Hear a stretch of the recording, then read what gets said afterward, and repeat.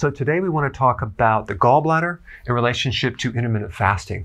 Some people have been complaining about gallbladder symptoms when they do intermittent fasting, and I'm going to just kind of give you some insights of why that could be. First of all, let's cover the symptoms of a gallbladder problem.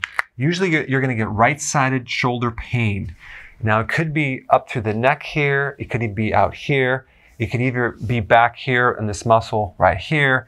It could be by your scapula. It could be by the mid back, but everything's going to be slightly on the right side. Uh, it can even be on your head or jaw and cause like even headaches on the right side of your head. And then abdominal pain, mainly on the right side, underneath the right rib cage. You'll feel a fullness of pain, uh, feeling bloated, or you might experience burping or belching or nausea. Now, there's something that occurs in the gallbladder when you do a fast. Now, around 10 to 15 hours of fasting, you get this saturation of bile in the gallbladder.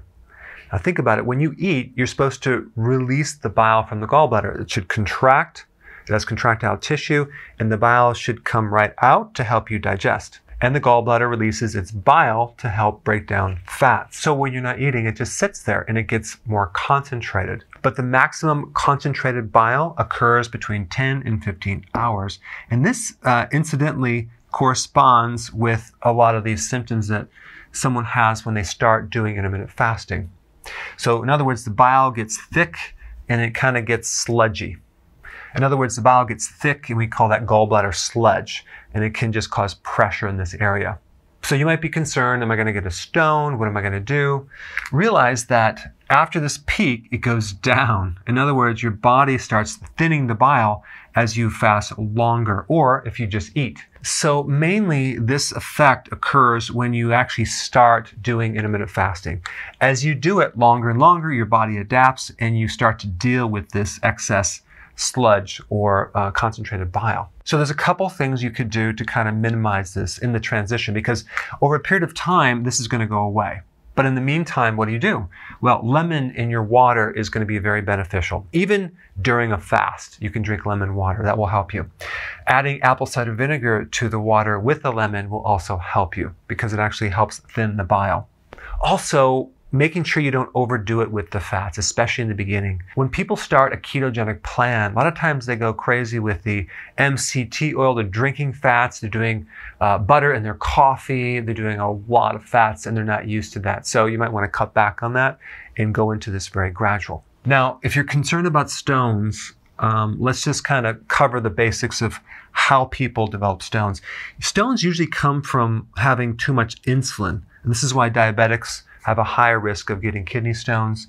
Um, so as you do a keto plan and you're doing intermittent fasting, you're lowering insulin. You're going to decrease your risk of getting stones in general. The bile that is released from the gallbladder helps to prevent the stones from developing. So then the question is, what triggers the bile release? Well, guess what? It's saturated fats. So when you go on a diet that is low in saturated fats, let's say you're vegetarian, you're vegan, um, what's going to happen is you're not going to release as much bile. And there's a higher incidence of kidney stones with, with people that go on a low fat diet than a higher fat diet. So really, it's not the high fat in the diet that causes the stones. Eating higher amounts of fats will actually help you as long as you keep your carbs low. And I'm talking about the refined carbs and the sugar. Also realize the microbes have a huge influence on your bile because microbes in your gut help you recycle the bile. And if you don't have enough microbes, you don't get the recycling, you're going to be deficient in bile.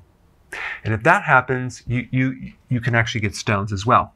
If you have liver damage from any reason, you can develop stones. So, but going on a, a healthy keto, an intermittent fasting plan, uh, is not going to cause stones, but it may cause some temporary saturation or concentration of sludge in your gallbladder between 10 and 15 hours of fasting. But this is only temporary. And you can actually do things to minimize it, like adding lemon juice, apple cider vinegar, and maybe cutting down on some of the fats as you're doing this program. All right, thanks for watching. Hey, if you're liking this content, please subscribe now and I will actually keep you updated on future videos.